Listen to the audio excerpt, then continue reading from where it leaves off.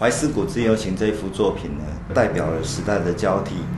哦，以美浓的烟楼为主要的主景。这幅作品里面，它有一个丰富的一个四十五度角的光斜射光线，前面的部分是代表黑暗的部分，后面的部分是代表光明的部分。另外一个意涵呢，就是希望说，如果说一个人透过你的努力，你可以从前面的废墟里面哦，慢慢的延伸，变成一个很美好的愿景。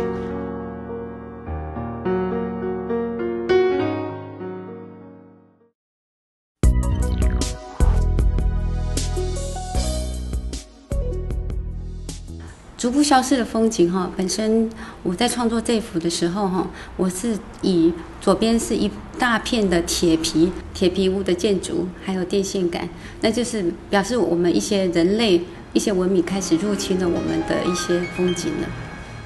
之前在我来讲，我会以为创作就是把技法练好而已，但是到了研究所之后，我的整个观念就改观了，然后开始思索你要呈现的是什么观念呢？让我慢慢的开始思索，从开始身周遭的环境开始去，慢慢的去发掘。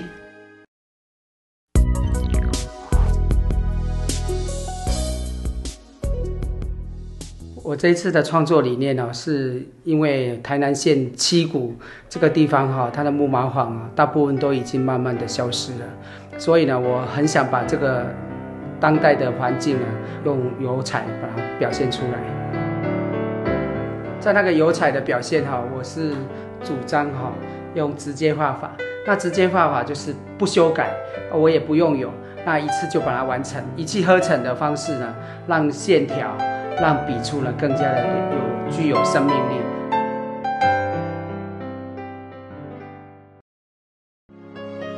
油画类入选作品：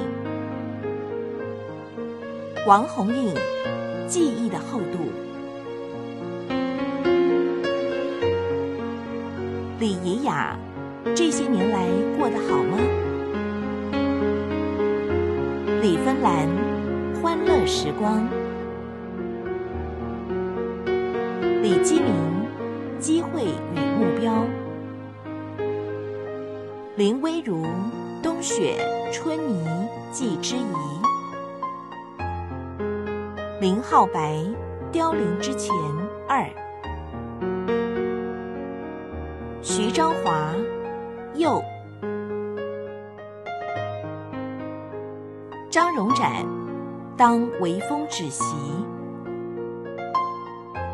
许灿林，今日景观温室山水；陈妙玲，呵护；陈彦洲，创作的试炼。陈伟明，自然与意象；